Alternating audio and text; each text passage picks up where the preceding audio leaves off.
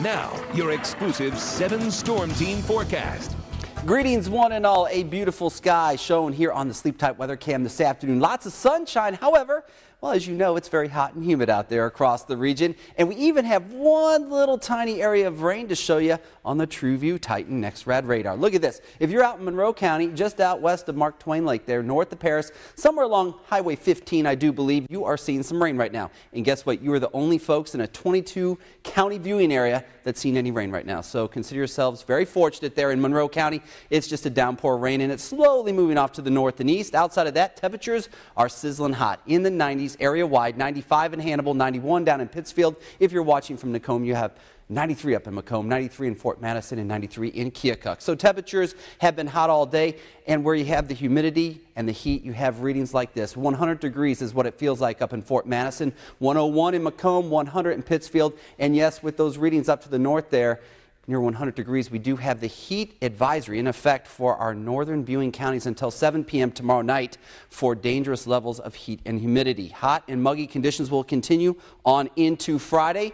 As we head on into Friday night, late in the day towards evening, a cool front will start to slide down from the northwest. That's going to usher in slightly cooler temperatures for the weekend we'll take what we can get right now, folks. 80s for the weekend, not too shabby after the 90s over the last several days, and we'll even have some rain chances with that front as it comes through tomorrow night as well. 93 and sunny at the airport. The winds are out of the south-southwest near 10 miles an hour.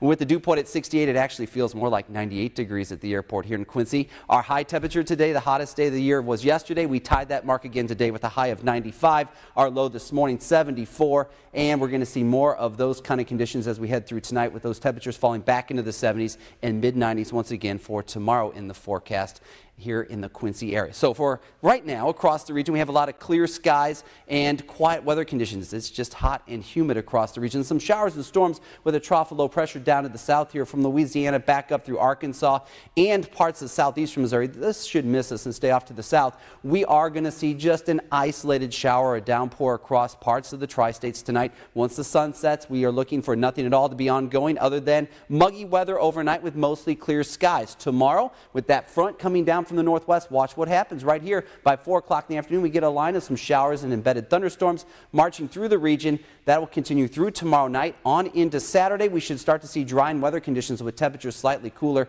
and any precip well to the south down towards St. Louis. So for tonight. 76 for a low, an early spot shower storm, then mostly clear skies. Winds out of the south, southwest and light. Mostly clear skies from Fort Madison down towards Shelbina. For tonight, lows in the middle 70s, generally speaking. 74 in Shelbina, 76 in Keokuk with 75 up in Macomb. Now, tomorrow, we'll take temperatures back up into the mid 90s. 96 here in Quincy. It will be humid. We'll see that slight storm chance, especially tomorrow afternoon as that front starts to slide in from the north. Later on tomorrow, area wide, we'll go with the best chance of storms up to the north, though, as the front moves in late in the day. Temperatures top out in the middle to upper 90s across the entire tri-states region.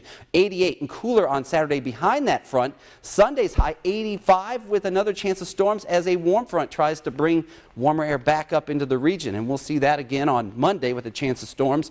Tuesday, 90 and a chance of storms. And then another cool down behind a front on Wednesday and Thursday. Temperatures back in the 80s. So you see those two blue lines. Those are cool frontal boundaries moving through one on Friday night and one on Wednesday. So it's going to be a little bit of an active weather pattern, and we will get a little reprieve from the heat both those uh, times those fronts come through. I'm so ready, I'm just going to stand outside and wait for them. You're going to wait on the front. You are an anxious person. I'll tell you what. Probably have some friends out there wanting to stand out there with you, too. I wouldn't We're all it. looking for a little bit more uh, relief. Thanks, Mike.